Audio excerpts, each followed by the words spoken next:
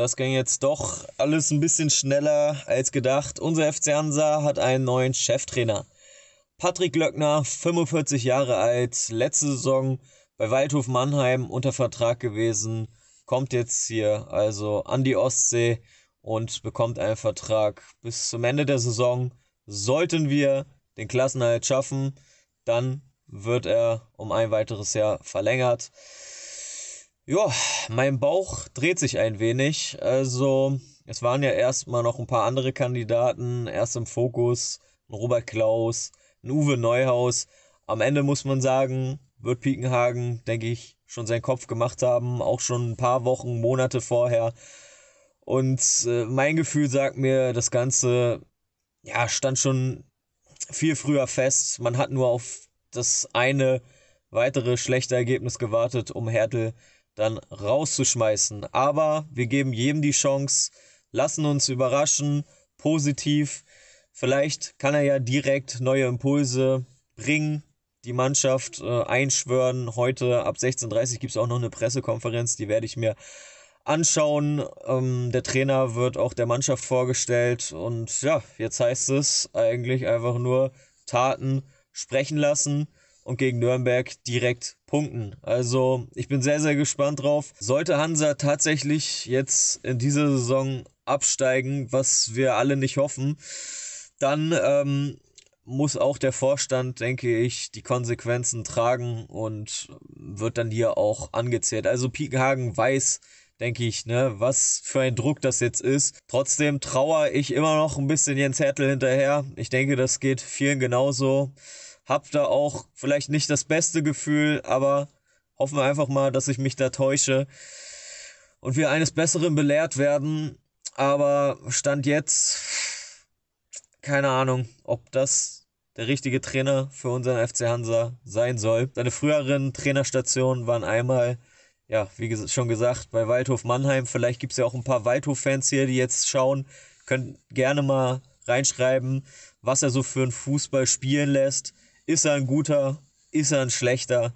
Das alles gerne einfach mal rein. Ich muss wirklich sagen, habe nicht viel von ihm mitbekommen in der Vergangenheit und deswegen ist das einfach jetzt so ein kompletter Neuanfang. Dazu war auch noch Co-Trainer bei unserem Erzrivalen Pauli dann beim Chemnitzer FC und ich glaube auch noch Jugendtrainer bei Eintracht Frankfurt. Im Fußball zählt Leistung, zählen Punkte und wenn wir genug Punkte holen und am Ende überm Strich stehen, dann ist alles gut. Was mir halt irgendwie noch ein bisschen auf dem Herzen liegt, ist halt, ja, das, was wir in den letzten Jahren halt aufgebaut haben. Wenn das jetzt einfach weggeschmissen wird durch so eine Trotzreaktion in Anführungszeichen, wenn man sich einen Spieler holt, äh, ein Spieler, ein Trainer holt, der noch keine Zweitliga-Erfahrung hat, kann das selbstverständlich auch nach hinten losgehen. Siehe Dynamo Dresden, letzte Saison.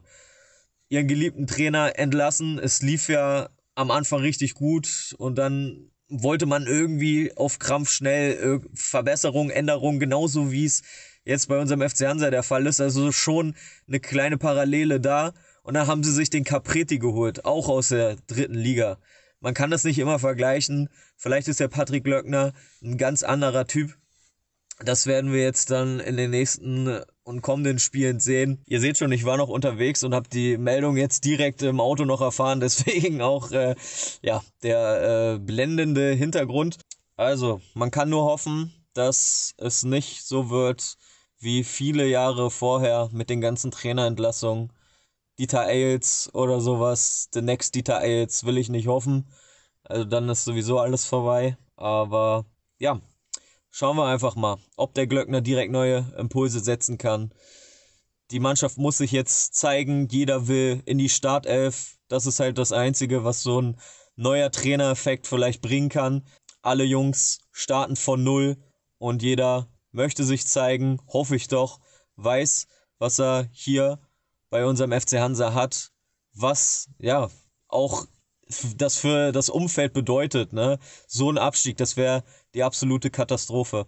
Und ich hoffe, das weiß jeder, auch der Co-Trainer, der mit dabei ist. Am Ende wirst du an den Ergebnissen gemessen. Schreibt gerne in die Kommentare, was euch so auf dem Herzen liegt. Was denkt ihr? Ist es der richtige Trainer? Ist es die richtige Wahl? Und am Ende bleibt mir gar nicht mehr viel zu sagen, außer hoffen, hoffen, hoffen, dass das Ganze funktioniert und kein Fehler war. Haltet durch, bleibt stabil.